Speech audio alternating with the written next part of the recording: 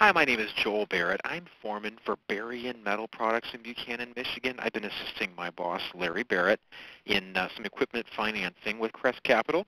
I wanted to let you know that uh, when I was dealing with Mike Marson, um, he, the paperwork that he sent me was astounding. Uh, this was the best process I've ever seen, the most condensed, easy to read, simple process that I've ever seen when getting equipment financing. Uh, I've done several different projects for Larry. This was by far the best. And we've put uh, Crest Capital on our website um, for our uh, potential customers to see uh, that they can get financing through Crest. Thank you guys very much.